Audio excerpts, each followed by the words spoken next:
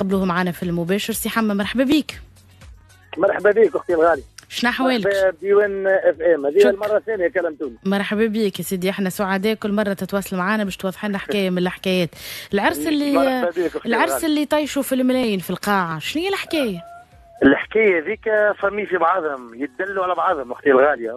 أنا c'est déjà أنا حكيت له قبل. أنا راني مصور الفروحات الكبار اللي في القروان هاي. وحكيته لك أنا قبل أختي الغاليه فكرت باللي عملوا نذكر نذكر juste juste نفسروا لأنه آه.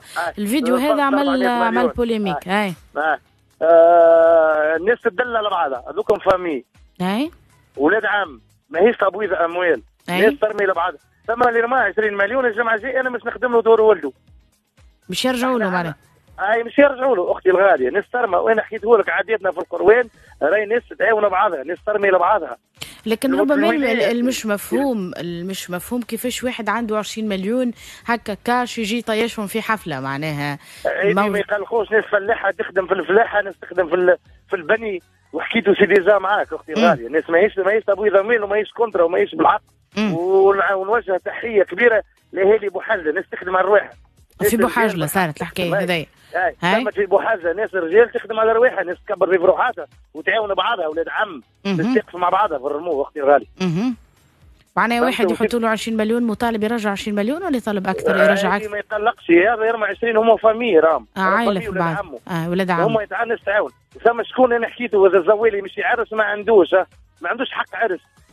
هاي؟ بيت نوم حق الذهب حق الذبيحة لسه تعاونوا بالرمو هذاك آه voilà. لك قلت لك كل قضيه إيه ما هو لازم يرجعوا هكا ولا مع من عاداتكم؟ يرجع. شوف شوف أختي آه. الغالي أنا حكيته قبل ثم شكون اللي يرمى بالميت يتسمى رموه بالميت عنا.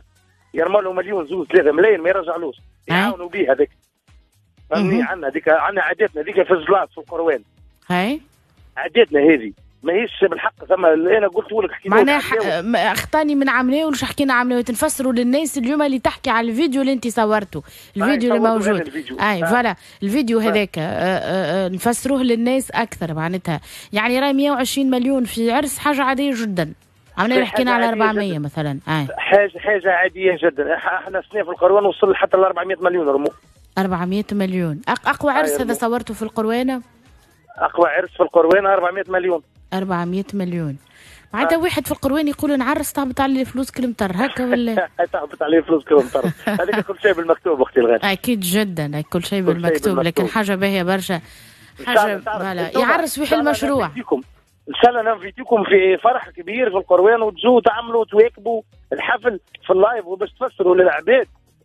وتشوفوا شنو معناتها في القروان اللي صاير ماهوش تبييض اموال اللي تعاونوا بعض والناس ترمى على بعضها لأنه فما شكون قال هذاكم عائلة يبيضوا في الأموال فرقوا الأموال لا، على بعضهم وجاوا في. عرس ورماوهم voilà لا- هذا لا- الكلام لا- اللي تقال لا هذيكم اللي يرموا في الفلوس راهم فاميليا ولاد عم ونساب وأقارب ناس تحب وتفرح لبعضها وناس تحب بعضها. آه، تلقائية يرمى في الفلوس. يتسمى عنا إحنا عبارة يدل حلين الرمو يتسمى. شكون مش يرمى أكثر من ولاد عم؟ فلوس. واضح يا سيدي إن شاء الله واللي أياماتكم. رمى 20 مليون تقول والجمعه الجاية c'est déjà مش نهبطوا live على الصفحة نتاعي. آه voilà 20 مليون زعما قداش يرجع له هذا يرمى 20 مليون في عرس؟ ممكن يرجعوا ل 150 صحة وفرحة ليه يا سيدي صحة وفرحة.